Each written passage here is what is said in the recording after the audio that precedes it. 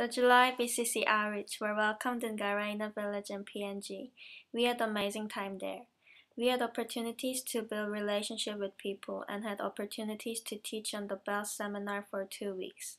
The seminar was for the local pastors and leaders. Some of them came from the other villages. They loved to worship and they were so hungry for God. We had the opportunity to share at the school, and the kids were just as hungry to hear about God. At the end of the seminar, the locals went to close villages to practice teaching what they learned. Through their teaching, they saw people come to know Jesus. They were passionate, humble, and powerful. We also had opportunity to baptize seven youth who responded to the gospel while we were in PNG. They were so precious.